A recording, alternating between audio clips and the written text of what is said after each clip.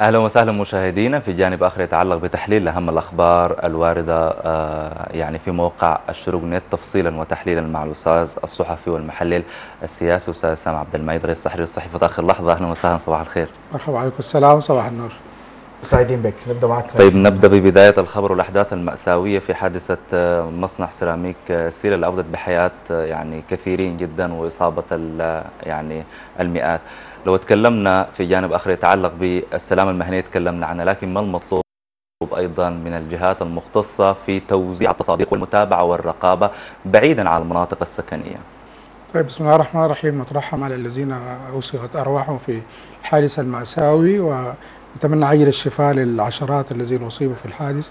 بكل الأحوال مثل هذه الحوادث آه، يعني تلفت انتباه الحكومة بشكل مباشر إلى إجراءات السلامة والتأمين التي يجب اتباعها في ال- المؤسسات والمنشآت الصناعية المختلفة. واضح جدا أن هناك مشكلة في إجراءات السلامة في عملية التأمين آه، داخل ال- المصنع المعني.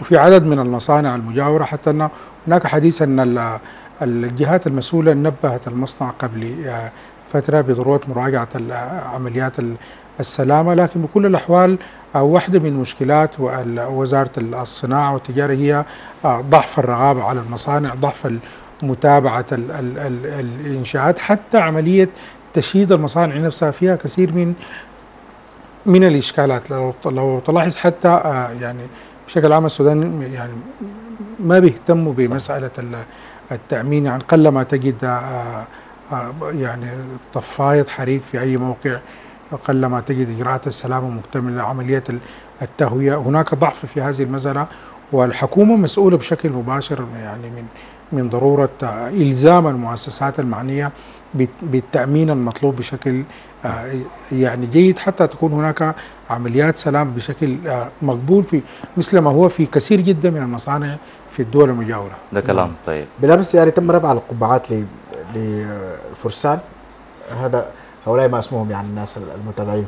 آه، الدفاع المدني بالرغم من عدد من الملاحظات لعدد من المتجمهرين عدد من المتابعين حتى عبر السوشيال ميديا ل- للأذية أيضا والاهتمام بوسائل السلامة المعنية في الدفاع المدني أيضا. طبعا بكل الأحوال يعني نحيي شرطة ال- الدفاع المدني قامت بدور كبير في الحادث أمس كثير من ال- الناشطين في يعني صحافة المواطن في وسائل التواصل المجتمعي أشادوا بدور الدفاع المدني لكن آه، هي برضو سانحة حتى نطالب قيادة الشرطة بضرورة الاهتمام بشكل أكبر بالدفاع المدني بضرورة آه، ترقية أداء الدفاع المدني. معلوم أن آه، بشكل عام ال- الإشكالات الكبيرة أو الحوادث قلما تحصل في السودان مثل ما هي تحدث في كثير من دول العالم. لكن هذا لا يعني أن تستكين ال- الشرطة أو, لا تهتم بعملية ال- التأمين الجيد للمنشآت ال- المختلفة آه. طيب ده حدث خلاص فيجب انه نتعلم منه على أساس إنه ناخذ الحيطة والحذر في المرات القادمة لكن في سؤال أخير آه يعني ال- العهد الفات فات والان إحنا في عهد جديد معظم المصانع الموجودة هي موجودة بالقرب من آه سكن المواطنين. برضه ده التأثير الكبير حتى على المناخ والحالة ال- النفسية والصحة العامة بالنسبة للإنسان.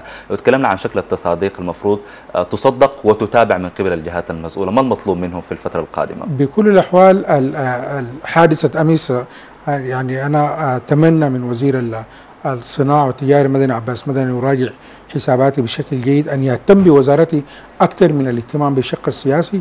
انغمس الوزير في الفترة الماضية في في في المسائل السياسية بشكل أكبر.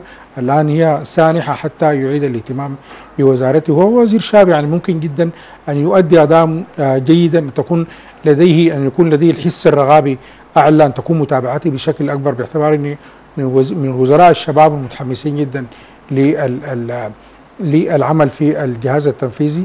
آه، أنا أتمنى أن يقود آه، حملة في الأيام المقبلة لمراجعة إجراءات السلام. وأعلن اليوم في صحيفتنا آخر لحظة كان لدينا تصريح خاص من الوزير مدني أعلم أن الحكومة ستسرع فورا في مراجعة إجراءات السلام في كافة المصانع والمنشآت المختلفة.